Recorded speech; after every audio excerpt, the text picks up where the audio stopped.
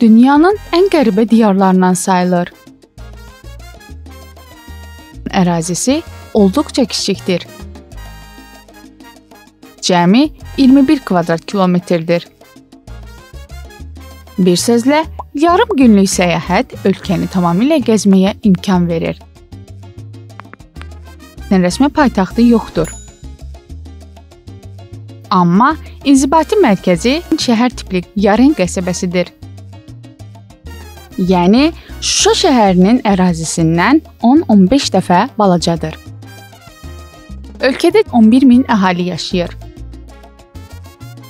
Söhbət dünyanın cırtdan ölkəsi Naurudan gedir. 100 il öncəyə qədər buralar Pliasant adası adlandırılırdı. Naurunun qonşuları Marşal adaları və Mikroneziyadır. Kiçik ada dövləti olan Nauru dünyanın ən kök ölkəsidir. Əhalisinin 95%-i artıq çəkidən əziyyət çəkir. Piyələnmənin əsas səbəbi Qərbin fast food mədəniyyətinin sürətlə tətbiqindən qaynaqlanır. Keçmişdə Nauru üzərində 12 qəbilə var idi.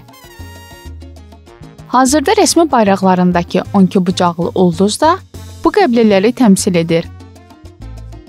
Ölkə ərazisinin demək olar ki, 10%-i Nauru hava limanına məxsusdur.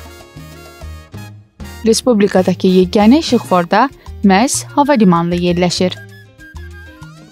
Nauruda Yapon məhbuslar üçün xüsusi həbsxana da mövcuddur. Bu həbsxana 2-ci Dünya müharibəsinin yadigarıdır. Yarın ətrafındakı çimərliklər olduqca qeyri-adidir. Çimərliklərdə olduğunuz müddət ərzində çoxlu qəribə qaya formasiyaları görə bilərsiniz. Bir çoxları qayaların tarixi vulkan püskürmələri nəticəsində əmələ gəldiyini söyləyir. Naruya səyahət etmək üçün ən yaxşı vaxt mart-oktyabr ayları arasıdır.